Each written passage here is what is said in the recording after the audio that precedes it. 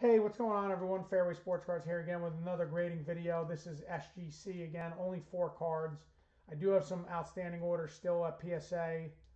Um, and, you know, who knows when they're going to come back, but this is my last for a while, I guess, with SGC. It was four cards. They turned it around pretty quickly, so definitely happy with that. Um, in here is nothing major baseball-wise. We have a, a Trout and Ohtani refractors from 2021. So nothing major there. A Herbert, Justin Herbert from uh, Chronicles, but it was Vortex, which is pretty, uh, or uh, yeah, Vortex, right? Ver- Vertex, Vortex, pretty, um,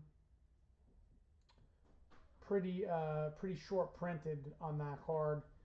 And then I have a LaMelo Ball Prizm base card. So I pulled a few of them, but um, you know, this was the only one that I thought was worthy of, of sending in. So let's see what we got with the four cards, and uh, hopefully we go four for four.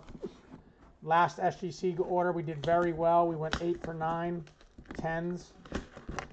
And um, let's see if we can continue that hot percentage here.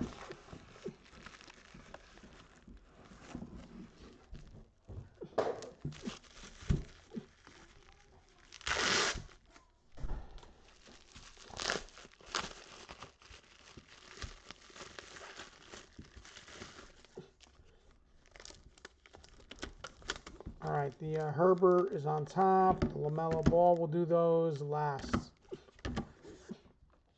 All right, here we go. First up,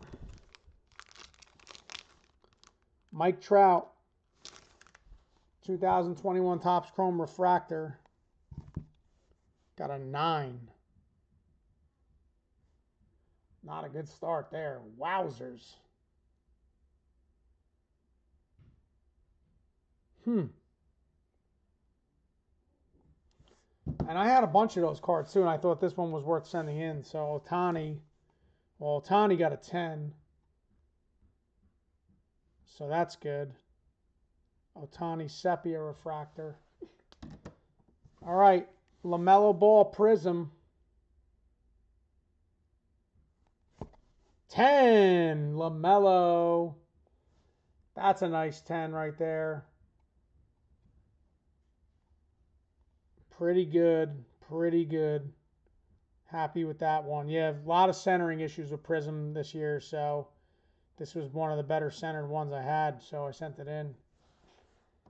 And uh, finally, we have Justin Herbert. Vertex, Vertex, I should say. Vertex, not Vortex. Vertex.